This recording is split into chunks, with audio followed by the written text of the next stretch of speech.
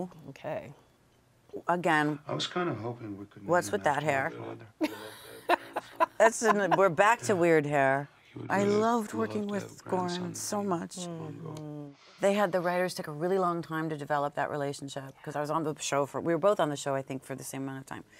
So and like you we came were into the series well into its yeah run. it was in the seventh season. And what was that like for you? Did they haze you, or did they just welcome you with open arms? It's not like they hazed you, but it was sort of more like this, Uh-huh. like let's see. And if you showed up, meaning not just showed up but showed up, Showed up yes, then and proved to them that you could hang. Yes, Yes, exactly. right. It was a very short, like it wasn't like they tortured you for a long time. It was like a, a pretty fairly short amount of time where they decided, were you okay? Is she one of us? But also, like that show was just as funny on set as NewsRadio. I mean, you would think not because we're, we're all so serious, but I mean, it was really. Sometimes you couldn't put us all in a scene together because it would take too long to shoot. you'd be laughing. Because we'd be laughing oh, so hard. And there's like someone dying on the table in front of us or whatever.